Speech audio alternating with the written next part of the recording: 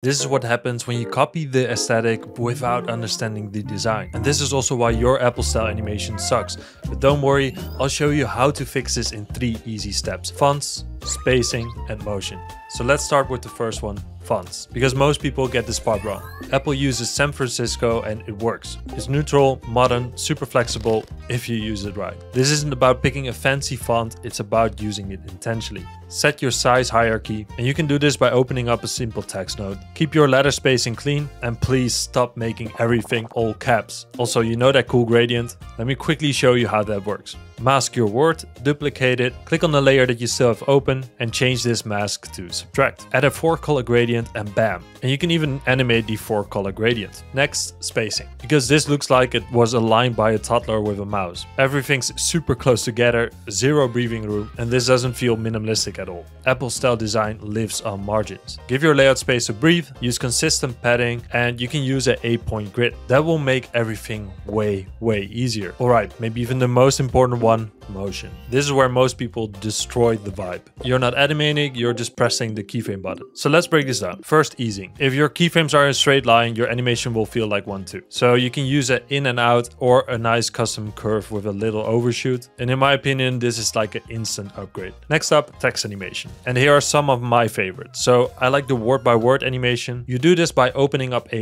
text layer, click on the arrow next to the animate text, then click on position. Now do the same for opacity. Then open up this animator, open up the range selector and open up the advanced tab. Change the based on to words, the shape to ramp up and the ease low to 100%. Now that we're here, we can change the position to be a bit lower than the text, maybe something like 25. Opacity on 0%. And then to animate this all, we're gonna click on the stopwatch next to offset. I'm gonna set it to minus 100% and then maybe half a second to a second later to 100%. But you can also use basic cuts because you don't have to be scared to not always animate it. As long as the timing is right and you cut the word on the beat, it can look quite cool. And the last one, word by word with a twist. For this one, I'm going to use the built-in preset typewriter. Again, open the text, open the animator, open the range selector and open the advanced. Change the base on to words. And now your words will pop up one by one. The only thing I want to do is go to P for position, set a keyframe on the position. And then every time we have a new word, we move the text. Number three, drag out your keyframes. Fast animation doesn't mean short keyframes.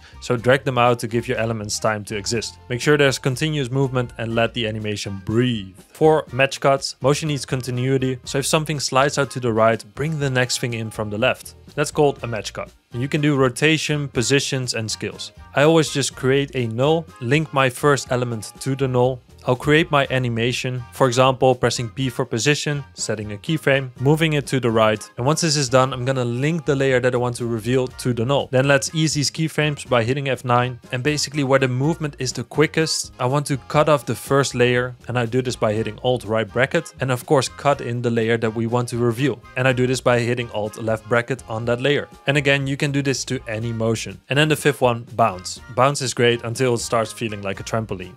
so don't overdo this this, I'm using a free plugin, Motion Tools. I just select the layer that I want to bounce, press S for scale, click on scale, and then I click on the bounce icon. And then I keep the amplitude low, somewhere between 100 and 200, and the decay anywhere between 50 and 100. Again, don't overdo this. So here's the full transformation again, but now it feels intentional. It feels like it could have been designed by Apple, not someone that tried to copy Apple in CapCut, Canva or Paint. So if you follow these steps, your Apple style animations won't suck. And to make this even easier, you can have this project file, a three hour deep dive of Apple style animation and the opportunity of me helping you with your Apple designs by joining the Social Creator Club Pro. Link is in the description, see you there. And if not, then thanks for watching. Don't forget to subscribe and then I'll see you next time. Bye bye.